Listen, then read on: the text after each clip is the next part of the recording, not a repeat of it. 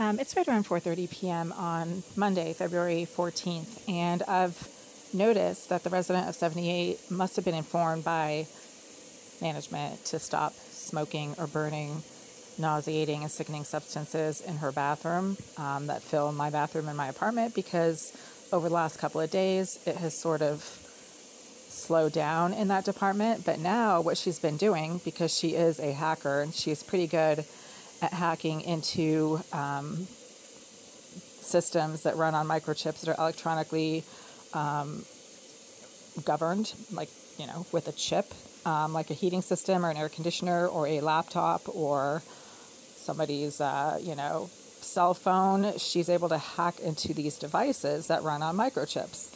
And obviously, the thermostat for the heating system in this building must have some sort of microchip in it if it was, you know, manufactured at any point after 1985. Anything, you know, from the 80s onwards has been computerized. So any hacker can potentially access the operating system for these systems. The heating system in this building is no different. And I've noticed over the last few days, every single time I go into my bathroom to do anything personal or private, the heat in my apartment suddenly skyrockets within four or five minutes. And when I come out of the bathroom, it is blazing hot in here. So right now it's 4:30. Um, it was actually cool in here this afternoon, and it's about 25 degrees outside.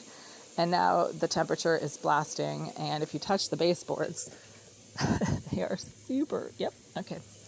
They're hot. Um, and this wasn't the case 10 minutes ago when I went into my bathroom. So this happens again every single time I go into my bathroom. And when something happens, just about every single time that you do it, it's not an accident. There's a pattern, there's a common cause to all patterns. So that's what's going on here right now. Just noting it. If it stops, I will also note that. But right now, that's what's been going on.